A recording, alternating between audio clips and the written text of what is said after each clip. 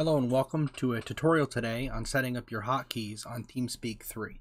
This will be very useful for all law enforcement emergency services, to be able to cycle to different channels very quickly without even having to look at your TeamSpeak. At some point you will learn exactly what keys you have hotkeyed and you no longer even really need to have this up or to drag yourself uh, unless you're going to a special channel. Let's go ahead guys, hit connections. We're going to join our server today. Connected. We're currently in our server. You see me in the welcome channel here go here to tools and options. I'm going to go ahead and delete these very quickly just so that uh,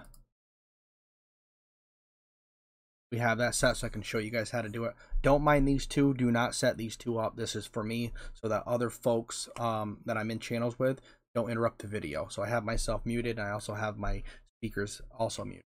So at this point on the left side, find hotkeys. It'll bring you to this configuration here. Press add. Then on the bottom, show advanced actions. Now from there, I usually always start with my push to talk. Push to talk right here under self, open it up, double click default. I personally use right control, but you can set that for anything that you're going to use it for. Press OK. Now you see it set here. We're good to continue. Press add again. Let's go show advanced actions. Switch the channel here. Open it. Open it. And then you'll see all the channels that are within this specific server. Um, I'm going to go ahead and set my primary RTO channel. I'm going to open it you want to double click on current server. That's very important. And then again, you're going to set this. I personally use F9. That's how I go into the primary RTO channel from welcome when I start on patrol or on duty. Next, add, go advanced options. You're going to repeat that again. Switch the channel, switch the channel. I'm going to go to RTO 10.1. So if someone needs me in a 10.1, I can easily go over to 10.1 on current server. That's going to be my F10 key. Again, do that action one more time, advance actions, switch the channel. I'm going to go to, let's say, 10.2. 110.2. That's what I have it set for. That's going to be my F11 key. Okay, now you can stop there. That's a pretty good, uh, you know, good chunk of the um, RTO.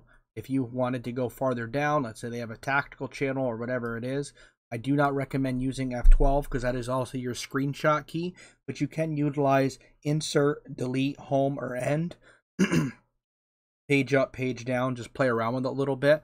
Make sure they don't conflict with your game, but I know for a fact those three work very well. And that way, I'll show you exactly how this works, guys. You guys can see me up in the welcome channel now. I'm 404T donor hit F9. We're in regular RTO very quickly, quick move. F10, we're down in 10-1 extremely quickly. Channel and then switched. right back there to F2, or I'm sorry, 10-2, and that's using the F11 key. Let's say I need to go from my 10-2 back up to RTO. I'm done with whatever my task was. Hit Channel F9, switched. and I'm right back up there in primary RTO, guys. I hope this helped you guys out today.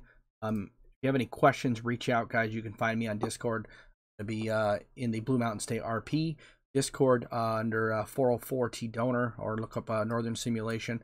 Uh, make a ticket and staff, and they'll be happy to help point you in the right direction. All right, guys, thank you so much, and I hope this helps everybody and really elevates their RP.